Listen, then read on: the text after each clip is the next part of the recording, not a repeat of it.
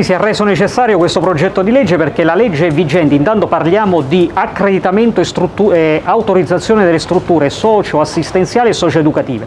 Il progetto di le la legge vigente è obsoleta, è di 16 anni fa, del 2005, e non ha mai prodotto il regolamento attuativo. Quindi voi immaginate, la Regione Abruzzo ha lasciato nel caos tutte le strutture esistenti, ognuno ha fatto quello che voleva, senza un regolamento attuativo. Quindi la nostra proposta di legge parte anche da un'altra criticità, che la legge vigente presenta carenze carenze, mancano requisiti organizzativi, strutturali, di personale, manca addirittura un'anagrafe unica di tutte le strutture in Regione Abruzzo, non è mai stato fatto un censimento, quindi non sappiamo quante strutture ci sono ed è gravissimo e ci sono ancora competenze in capo alle province che non ci devono essere più, che devono essere abolite. La nostra legge appunto prevede dei requisiti stringenti, che ogni struttura deve insistere in aree che permettono la, eh, la vita sociale, le attività collettive dei propri ospiti, deve prevedere degli operatori sanitari, sanitari, sociali, educativi qualificati con titoli di studio adeguati, un responsabile, un coordinatore della struttura. Addirittura la novità, vogliamo che per ogni ospite di queste strutture vi siano dei piani educativi individuali dei piani assistenziali individuali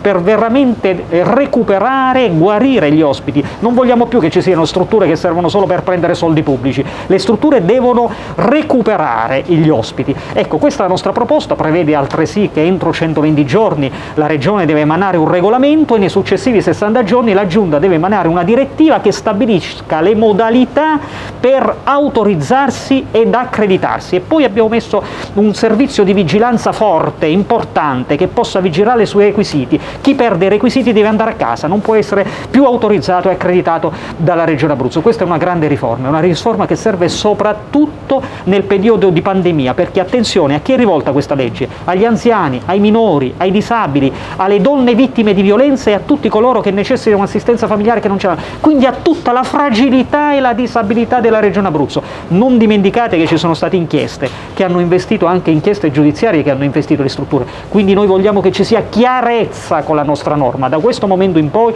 la fragilità gli anziani disabili nella nostra regione con la nostra legge, se verrà approvata, vi sarà solamente dignità e benessere.